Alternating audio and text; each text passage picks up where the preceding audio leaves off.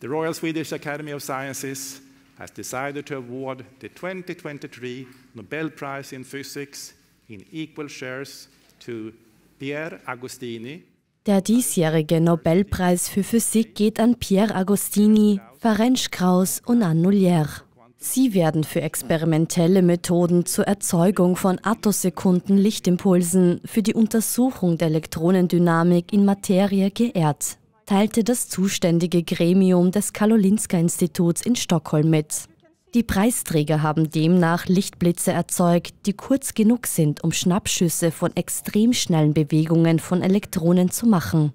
An entdeckte einen neuen Effekt durch die Wechselwirkung von Laserlicht mit Atomen in einem Gas. Agostini und Kraus zeigten, dass dieser Effekt genutzt werden kann, um kürzere Lichtimpulse zu erzeugen, als dies bisher möglich war. Bereits am Montag wurden die Preisträger im Bereich Medizin bekannt gegeben. Der Nobelpreis für Medizin geht an die Ungarin Katalin Kariko und den US-Amerikaner Drew Weissman, die für ihre Leistungen zur Entwicklung der mRNA-Impfstoffe gegen das Coronavirus geehrt werden.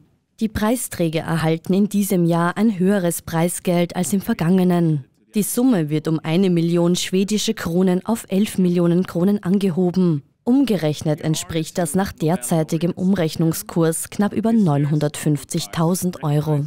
Seit 1901 werden die Auszeichnungen an Nobels Todestag, dem 10. Dezember in Stockholm und Oslo überreicht. Bisher wurden bis 2022 nach Angaben der Nobel Foundation insgesamt 615 Nobelpreise an 989 Persönlichkeiten und Organisationen verliehen, darunter 61 an Frauen.